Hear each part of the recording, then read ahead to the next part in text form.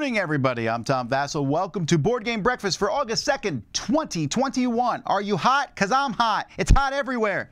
It like was quite, I know everyone's hot all over the place. Here, though, we can go swimming year round, so there is that. And our air conditioning works, so there is that. School is on the horizon. Everyone is frantically running to back to school sales, and kids are getting ready to go back, and we're gearing up to have traffic from our house to work again. But also, the kids are have something to do. Um, lots of games. I, I am still in people's faces. I was someone said to me the other day, like, "Oh, there's not many good games coming out this year," and I don't know what year they're living in. Um, there's still a good chunk of the year left with a lot of good games on the horizon, but there have been amazing games. I just play good games right and left. I also play some bad games right and left, but hopefully I do that so you all don't have to. Welcome to Board Game Breakfast, a variety show where we talk about board games, and we always start with a contest. And our contest today, which anyone in the U.S., Canada, or Australia can enter, is to get a copy of The Loop, which, if you just saw, they played last week live, so you can go see how the game plays. This is from Pandasaurus Games. And to enter this contest, you just need to email us at contest at dicetower.com. In the subject line, put the word agents as an A-G-E-N-T-S, as it shows right here at the bottom of the screen. And in the body, you need to tell us which convention is Pandasaurus offering pre-order pickups for. So just say what the name of the convention is. For example, if it was Dice Tower Retreat, which it's not, that would be the one that you would put there. And we're going to pick three winners randomly to get a copy of the game. So, hey, there's a lot going on today, but I'm really excited we got an announcement to make, which we're going to do right after these contributors. Hi, everybody. Hello, we are Ryan and Bethany. From Ryan and Bethany Board Game Reviews. All right, today we're talking about Gravwell. This is the second edition. This is just a crazy, chaotic uh, board game where you're just flying around the board forwards and backwards. It's absolutely wild and chaotic. Speaking of crazy and chaotic, um, I was going through a lot of my past work emails just to kind of go through them. And over the past year, I put on quite a bit of weight and I was really frustrated with myself. But then I was going through those emails and I was constantly changing when I could work to try and save time. Daycare was closing, daycare was opening, daycare closed again, school is changing. And all of a sudden, I just had so much more compassion for past Bethany because her life was just so chaotic that of course she gained weight, like obviously. So I just want to encourage all of you if you've gone through a situation like that, just have compassion on yourself because I assure you, you went through some stuff. Yeah, you're gonna reevaluate. You go in again. Yeah. All right, so the first edition of this game was a great time. I think the second edition kind of added on all good things. Upgraded components, different special ability cards that it added, um, more types of cards. Uh, and it added a sixth player. I don't know if I said that. Did I say that? It doesn't matter. Adds a sixth player. Uh, and uh, so basically, everything about the first edition is still there and is still fun with all new upgrades as well. It's so funny because you feel like you can control what's going to happen, but you can't. Like you're like, I can plan this. This is what's going to happen, and then bam, it doesn't happen. There's a complete chaos. The ships go everywhere. You're flying forwards. You're flying backwards. It all has to do with whatever objects are closest to you. Yeah. And if they move, Then, Then it all changes. all bets are off. and it is great. All right, you guys, we had a great time with this one. Uh, it is it is wild. You're not in for a strategy event. This is going to be a chaos event, that's okay. Yeah, that's fine. Everybody, if you want to hear more from us, you can find us on YouTube or Facebook. We're Ryan and Bethany Board Game Reviews. Everybody, this is Ryan. I'm Bethany. Hoping you have a happy, healthy breakfast. Bye, everybody. Bye, guys. Hello everyone, it's Clara and I'm back and today is one of the three hot days in the UK so I am melting right here. But anyway, let's get to it and I'm going to talk about digital versus physical board games. And today is a game I played the digital version but not the physical version and that game is Tainted Grail. So Tainted Grail is kind of, I've put up the uh, BGG link there but Tainted Grail is, I don't know, it seems like a bit, it's a survival game, right? So it's an RPG but it's all about survival, survival, survival. So um, every decision matters, every decision counts, and you know it's pretty easy, it seems, to die. Now that's definitely true in the board game version. So I've talked previously about how I loved Gloomhaven, but then the digital version took took the best of uh, Gloomhaven, but without the setup and takedown time. Uh, I do wonder whether Jaws of the Lion will be uh, my preferred choice, but I've not tried that yet. And so I'd wanted to play Tainted Grail for a long time. I saw Tom's glowing review and the game looks beautiful, but this idea that it's just a slug that you're going to die constantly, I wasn't sure of, and so I thought I'd try digital version. Now, I am reading in reviews that the digital version is different to the board game, but I feel like the thrust, the main emphasis of the game is still the same, that it's a slug. And whilst on the digital version, if I die, then my reset time is two seconds because I just start a new game. But if you die in the board game, then you've got to reset everything and start again. And it just seems like hard work. It just seems like everything is a battle.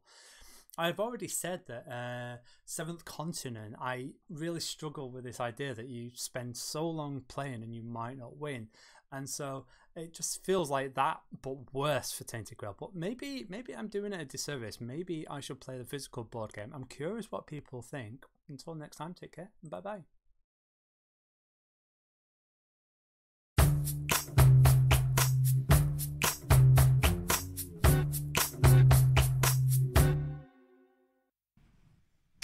Everybody. So it is finally time to talk about Dice Tower West. Dice Tower, we run multiple conventions over the course of a year. Well, a normal year. It's been a while since we've run any conventions. Uh, Dice Tower West had to be canceled this year because of the coronavirus. It was the last big convention before, well, the last big US based convention before last year, before the coronavirus ended. But we have some changes that are coming to Dice Tower West, and who better than to talk about these changes than the director of Dice Tower West, Tim. Let's go to him. Hey, everybody. Tim here from Dice Tower West. I am here today to make our big announcement of our new venue and some more information, just a little bit, because we'll be spreading it out uh, in the months to come, but about Dice Tower West 2022. First of all, it is March 2nd through 6th, Wednesday through Sunday of 2022, five full days of gaming. And our brand new resort, are you ready? Is the Rio Resort and Hotel on Flamingo Road in Las Vegas. That's right, the Rio. This is our brand new venue, and the Rio Convention Space is spectacular. And just so you know, it's right over the highway from the strip, the hot corner at Flamingo Las Vegas Boulevard, which has Bally's, Caesars, uh, the Bellagio right there, and it's only a 17 minute walk. Tom actually did it, so we know that for sure from the strip. And you also right around there, we've got the Gold Coast, we got the Palms, we got some other restaurants. It's it's fantastic. You're gonna love the Rio. Here are some great things the room rates. $69.99. That's right. What that means is weekdays are only $69 and weekends, Friday, Saturday, are $99. But the best part about that is, is our resort fee is $22 less than normal resort fee rates. So you got to make sure you book in our block. $69.99 with a $22 less resort fee. Now, the ticket prices are $130 for the five full days of gaming. However, we've added something new $90 for a three day badge. That's right. Friday, Saturday, Sunday will only be $90, but I'm sure most of you will be there or want to be there for the full time. So make sure you get our rates. Tickets go on sale Wednesday, September 1st at 12 p.m. Pacific time. That's 3 p.m. Eastern, 12 p.m. Pacific. Tickets go on sale Wednesday, September 1st. So make sure you look out for that. So, what can you expect from Dice Tower West 2022? Of course, Tom and the Dice Tower crew will be there. Now, we're going to try to make sure we bring everybody, but again, things change. So, we just want to um, lock in anybody except Tom. He'll definitely be there. And of course, you can expect the regular crew and a lot of the contributors as well. So, look for them too. And um, we'll have the normal stuff you see, like the, a lot of the events, uh, pitch car and uh, shows, wits and wagers, things like that you know, the usual. However, we are going to make sure that the number one thing is the library. That's right. We're going to make sure that our library is one of the most comprehensive libraries you'll ever see at a board gaming convention anywhere in the world.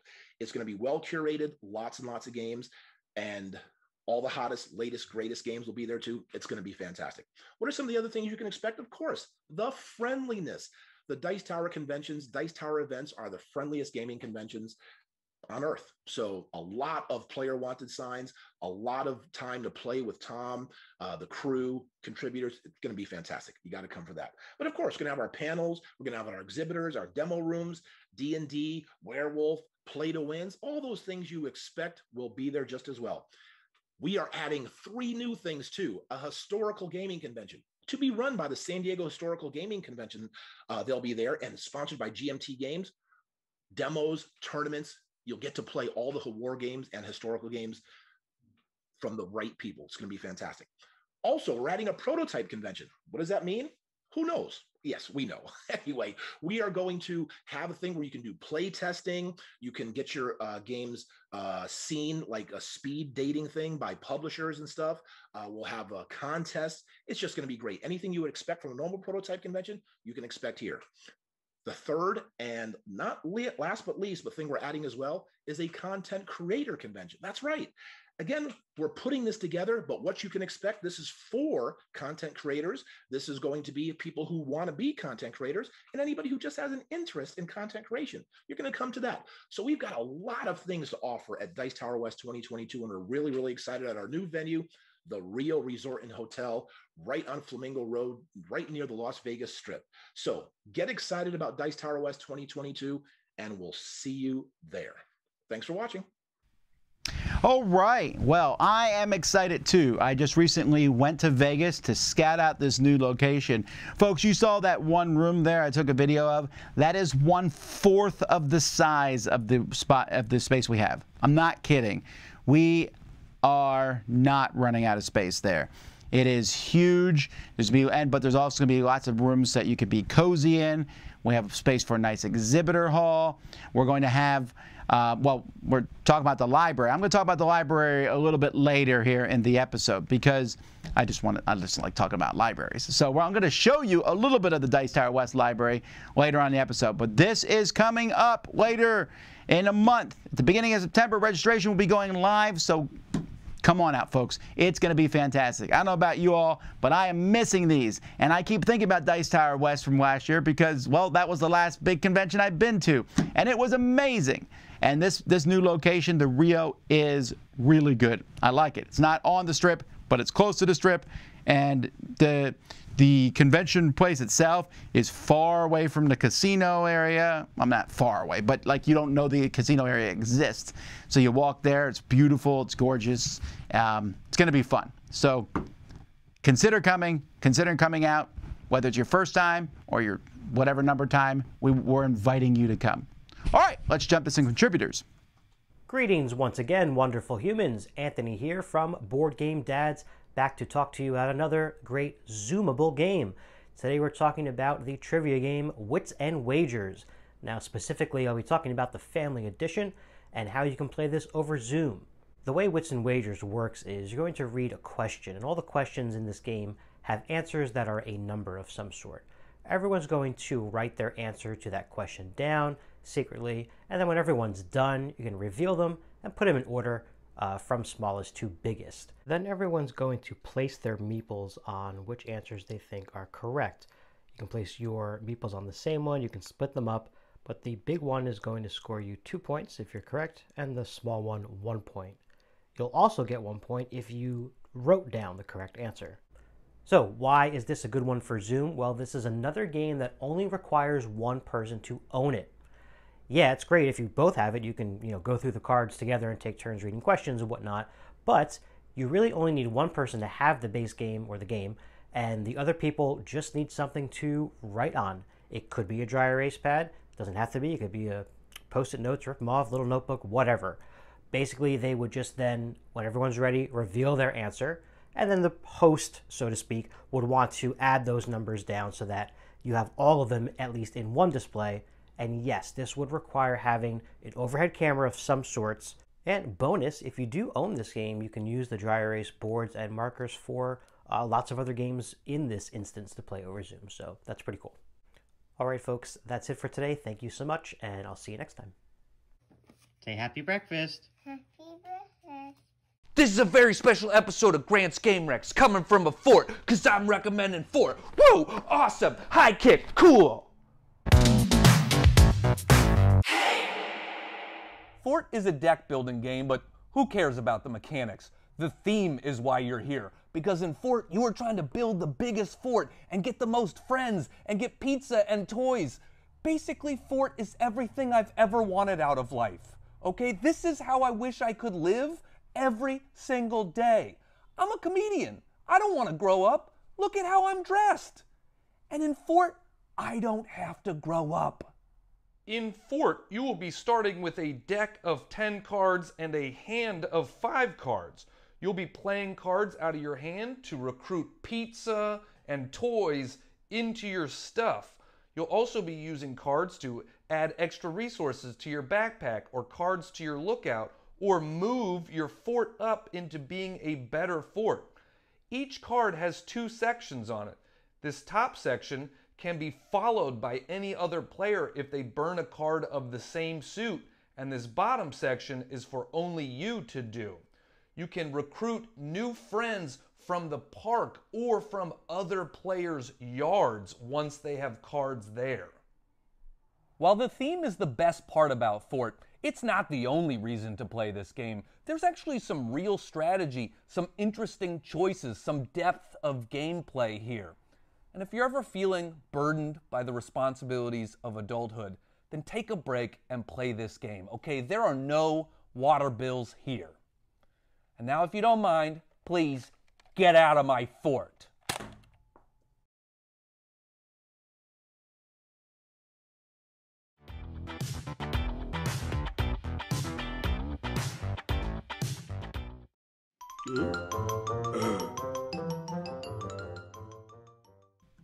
All right.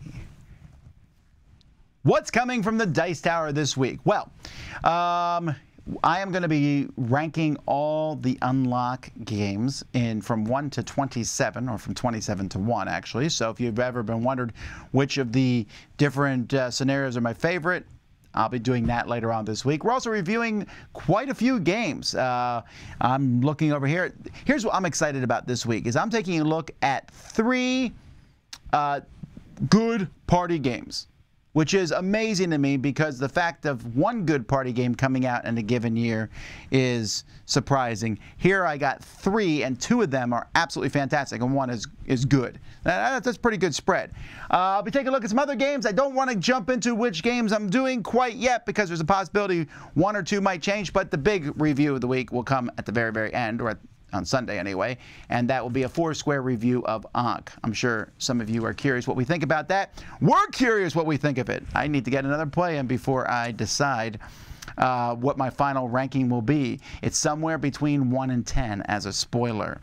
So there's lots of things coming out. Uh, of course, podcasts going up on our channel tomorrow, Mandy and Suzanne, um, and you can find that on dicetower.com. We have lots, all our stuff's there. You can see the ratings of our games. You can look at a contributor and see what games that that person has done. You can look at previous top 10s that have been done.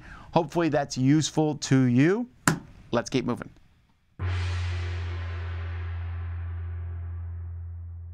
Hello, my name is Jonathan from Board Game Opinions, and in this series of segments, I'm going to be giving you some tips on how to teach a board game. Now, if you're watching this, you're probably pretty interested in board games, but it might be that the friends you play with on a regular basis are not quite as into board games as you are, and you're definitely the one who's expected to teach all the new board games that you keep buying.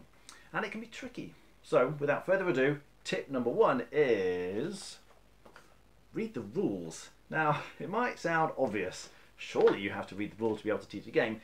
Well, you'd be surprised how many times people try and get away without it. Maybe they watch a how to play video or they skim through the rules, play with a few components and think, yeah, I'll be fine.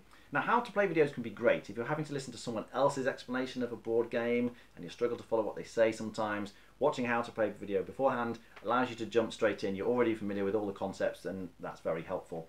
But if you're actually teaching it yourself, you really need to know all the rules. So that's not just skim through the rule book, read all the examples, all the little details, because sometimes the devil is in the detail.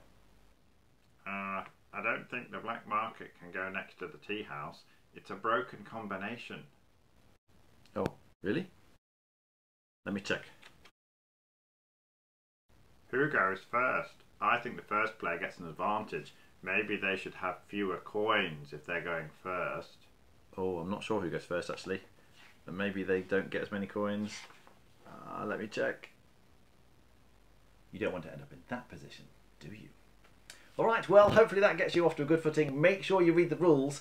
Next time, I'll be giving you another important tip on how to improve your ability to teach a board game. Thanks for watching. See you next time. Uh, I don't think the fountain can go on the edge of the board. It needs to be one of the middle tiles so that people can access all the locations.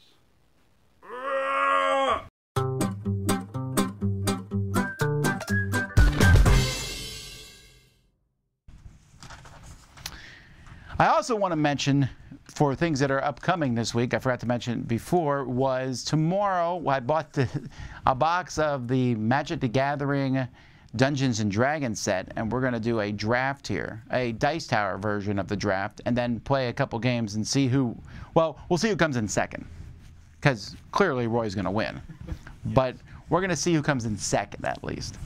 Alrighty, so let's talk about the Dice Tower West Library. So last year we took the Dice Tower Library and, or yeah, it was last year, and we shipped it all the way over to Vegas and then shipped it all the way back, breaking shelves in the process and having to re-straighten games, some of which is still going on today. Um, yeah, and it was also super expensive. So the Dice Tower West is now going to have its own library. Now, there are going to be differences between the libraries. So the Dice Tower East library is hand-picked by me. It is hand painted by other people. Um, not everything's painted in Dice Tower Library. To paint everything would be mind boggling. But we have a lot of stuff painted in the library. For example, Marvel United, the entire set's painted. And, you know, we're, all different games are getting painted. But we also upgrade the pieces. I, I work really hard on my organization of it, and so on and so forth. But Dice Tower East does have a limit to how big it's going to be. It's about 2,000 games. It's not going to get much bigger than that. Dice Tower West may not be as refined as Dice Tower East, but it's going to make up for that in size. So before I explain a little bit more about Dice Tower West Library, I walk through it, and I'm going to show you a video of that in a second. But I just before we look at the video, realize it's not sorted out yet. It's not organized in any manner or fashion. It's just basically on shelves so we can see what's in the library. But here it is. All right. So we're taking a look at the library, and this is just me kind of randomly walking through the shelves. Now, you're going to notice here that if it's a game, it's probably in this library. And that's from amazing games, brand new games, to games that are old timey and just you never even heard of these games. So, I mean, there's Pandemic the Cure. That's kind of new. First Martians, no one plays it anymore. Um, and then there's white boxes full of cards. And you're probably going to see a shelf of Monopoly somewhere. There's some Queen games. That's, oh, the Qwirkle. That's going to get played. We also have like every expansion for every game. So we got to figure out how we're going to be putting those into the library. So like I said, right now there's really no rhyme or reason to how these games are on these shelves, but as you can see, there is everything. Do you realize there is like everything for advanced squad leader on these shelves? There's all the time stories scenarios, there's small World of Warcraft. See, that's pretty new. That came out this year. And then look, oh, the Monopolies, I saw them. All right, so again, don't worry that this library is going to be mostly old games, but if you are looking for some of these older games, they're going to be there. I could not think of any major game in the last 50 years that was not in this library. I mean, it's probably true, but Tim is also going out of his way to put in every highly rated game on Board Game Geek in this library, come rain or shine. Actually, don't let this stuff get rained on. But if you like war games, you're going to have a great time because I don't know if you just saw that whole shelf of GMT, but in case you didn't, here's some Avalon Hill stuff for you. And if you like these old-timey games, they're going to be in the library too. So, oh, there's King's Court. King's Court's a great game. I love King's Court. Um, there's new war games, the GMT stuff, and you saw some Academy games. Did you see that very old version down there? That round board is an old version of backgammon. Um, so there's the deputy game, and but then there's roads and boats underneath Basket. Basket's a great game. Now you might notice and say, "Wow, how many games are in this library?" I think there's about 6,000 right now, folks, and it's constantly growing. Um, there is 60 shelves, I believe, full of games. And as you can see, they're quite packed. Now, they're in no sort of order right now. That will, we'll be working on getting them in order and getting them cataloged and stuff. This is as of two weeks ago, and someone's going to be working hard on this as a full-time thing to put these games in place. But if you go to this library and say, I can't find a game, The only excuse I'm going to take for that is, is that you literally just can't find the game you're looking for because the shelves are so many shelves. But you can't find any game to play. Oh, did you guys see Broadsides? Man, that game was, that's an old cool game. Oh, there's Forbidden Stars. I saw that, Cormaya and Orleans. So again, while some of the shelves are just full of old, old, old games, wait, did I see some empty shelves? We're going to have to fill those. Look at this. I'm just walking around. I'm, I'm, and this was like my fifth pass through this library. I went through this library and looked at everything. So you can see there's four very long rows. Over there, some boxes with stuff in it. But wait, four more shelves of uh, over here. I know these shelves are here because I actually sent these games to Dice Tower West to put in the library. Look at that, Equinox. That's new, new game, and it's in the library. So anytime we get the um, extra games here, cool games, we send them off to Dice Tower West. Oh, I'm back on. Oh, wait, I don't wear the hat for this. All right, so Dice Tower West Library is going to be in two different sections. We're going to have an actual library. You go in, grab the game, check it out, go play it. But then we're going to have another big library called the No Checkout Library. And this library is going to have all those old games in it and valuable games like that. And it's going to be in a separate room, and you just go in that room, just grab a game off the shelf and play it. But the games will never leave that room otherwise. They're just there for you to grab off the shelf. You're like, ooh, I like to play careers. I like, oh, here's a game from my childhood. I'm going to go in there and look at all these old games and play a couple of them. And I think it's a neat thing because this is almost at no convention unless it's there um, unironically, you know, oh, we never change the games in our shelves. But we want to have both. We want to have the hot new games, and there will be a hot games area, personally curated by myself, uh, with hot games that are set up on tables so you can play those. And then there will be a full-fledged library. And part of that library is going to be run by the new war game department that uh, that that Tim was talking about, so the, the war games. But then all that old stuff's going to be in that no checkout library, and I think you're going to really enjoy that, having those two things. Just not nostalgia, but also some of those older games are good and fun to play. So hopefully that's going to be exciting for you. I hope you're excited seeing all those games. But that's what the Dice Tower West Library is. Let's keep going.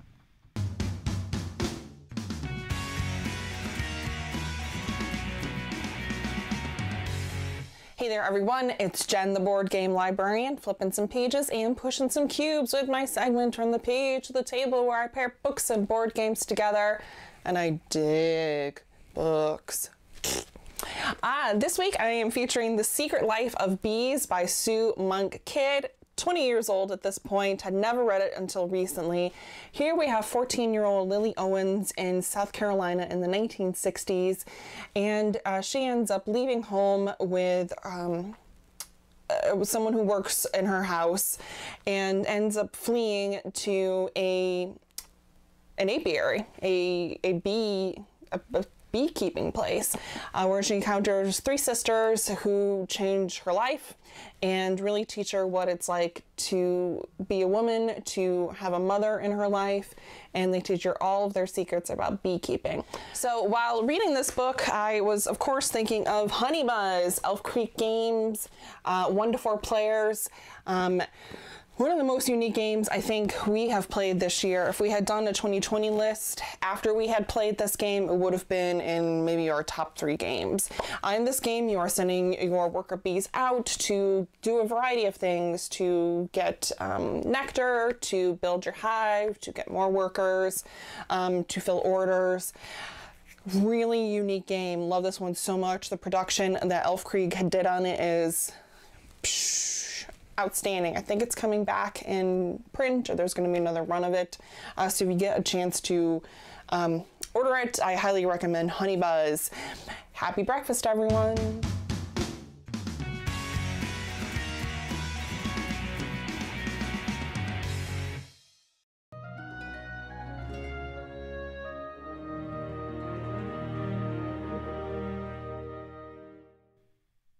All right. Well, later this year in November on Amazon Prime, they're going to come out with a Wheel of Time video, I mean, TV series.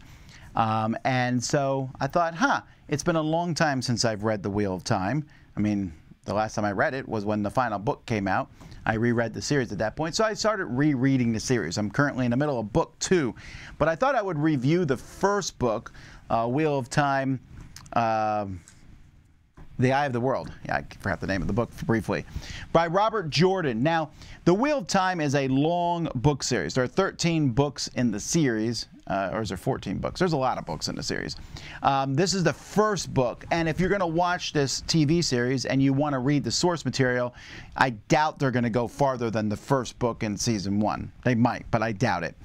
In this is a world, and this is if I'm ranking all the books in this series, this is in the top five, the first one. And it's an okay book to read and then stop reading the series if you want to.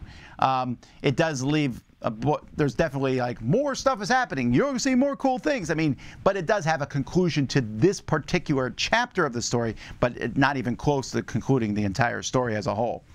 In this world, there's a magic system of sorts, which is closer to almost the force than it is to magic. But it's it's magic. But only women can use the magic. Uh, if men try to use the magic, they go crazy. Except there's supposed to be one man, the Dragon Reborn, who can use this, and that's the the gist of the story. And in this story, there's a bunch of kids, young adults, in a village that are all friends and events come and swirl them out of this little village on the edge of nowhere out into the bigger wide world. And the story goes from there. And all the characters there are five of these young people in this and those five become the five main characters of the story although there are many other main characters. Um, and, and that's the thing. So wheel as a time wheel of time as a whole um, is a overwrought story. I, I, I do not envy the people making a TV show because they're going to have to be cutting characters right and left. In this first book alone, there's well over 100 characters, I'm sure, and there's there's at least a thousand by the time the story ends. Now, some of these characters come and go for sure, but I have a hard time keeping track of everybody and everything. This one is not so bad. It is essentially a journey, as most fantasy stories are. Like we start from point A and we go to here. And there's side tracks and side quests, and the party gets split, comes back together. That sort of thing happens. But the characters are really good. Some of the problems in Wheel of Time are it's just bloated, the whole series as a whole. That happily doesn't really start till around book seven. Book seven, eight, nine are just bloated and probably could have been condensed into one book, in my opinion. You can see a little bit of the beginnings of that, but not much. There's also, in my opinion, over the wheel of time, there's a lot of men versus women just nonsense all the time. The women are constantly like, men are so stupid. And the men are always like, I don't understand women. There's definitely a lot of that in book one. It gets more pronounced and annoying, in my opinion, as the series goes on. But here it's just more of a sideline type thing. And, and there's very few of the characters in this series ever know how to communicate. I would not like most of them, except for Perrin, I think. But for most of them, they just simply can't ever speak straight out. At the beginning, the Aes Sedai, which are the women who can use this, uh, this magic power, and I'm not using all the different terms here because I'm going to mispronounce all of them and get yelled at it. I probably mispronounced how I said their name. Um, but anyway, these these people are known for being kind of coy in how they talk, but they talk that way to each other, and everyone else talks in a non-straight way. And sometimes people say, "I know something," and then right before they say it, something happens, and that happens all the time. But there's really cool lore there's really cool, neat stuff in the background. And it is a good story. It's a rollicking tale. And this first book, it's just, it's action packed. There's a moment in the middle where two of the characters are running away from bad guys that seems interminable. It's like, all right, I, I, I keep reading this. Are you guys going to ever get to where you're going? They're like making a trip in the books, like, we want you to feel that trip. But other than that, the story moves at a really good pace. There's a lot of cool characters the most annoying characters in the series haven't shown up yet or just briefly show up in this one. Uh, one of the most annoying characters in the series is in this, but she's not as annoying at the beginning here. And some of the main characters, Moiraine, Lan, Perrin, really cool characters that are fun and interesting and they do some neat things. And you're like, wow, I'd like to know more about the backstory. I, I don't think it's required. I don't know what this TV series is going to be like, you know, how much they're going to condense things. Um, but if you are interested in reading it, read the first book and then decide if you want to go farther. Books, I mean, if, if you're going to read through the series and you just want Books one, two, and three are all really good. Book four is actually my favorite book in the entire series, but it kind of starts a new chapter. And then book five is okay, book six is fantastic. And then, like I said, seven, eight, nine, it really drags down. Robert Jordan finally started moving on book 10, then unfortunately he passed away, and Brandon Sanderson took his last book and split it into three books with a grandiose, cool finale. But whew, it was a bit getting there. So, anyhow, that's what I think of the Wheel of Time. I have the world. Let's keep moving. Hi, everybody. I'm Doug Jr. And I'm Doug III. And you're watching a Fellowship of Meeples with Doug and Doug Gaming.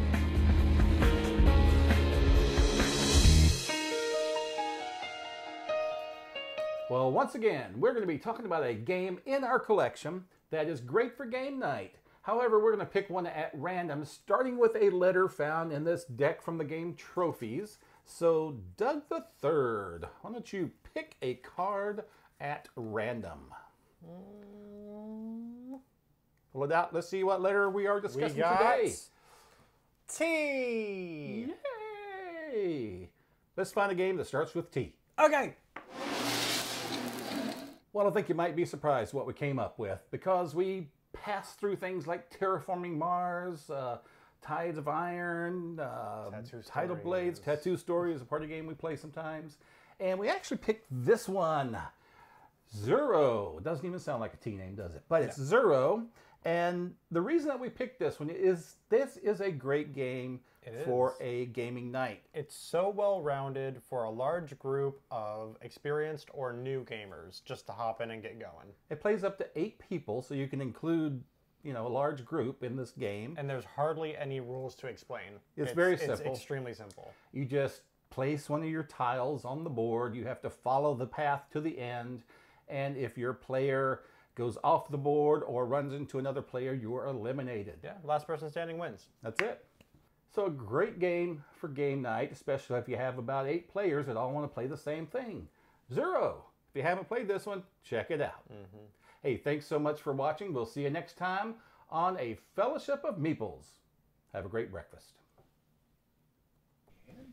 That's it for another board game breakfast, folks. Don't forget, we'll be talking more about Dice Tower West as we get closer to September. Also, I should mention, we're going to be at Gen Con. We're doing a live show at Gen Con. It's probably going to be a live top 10 list.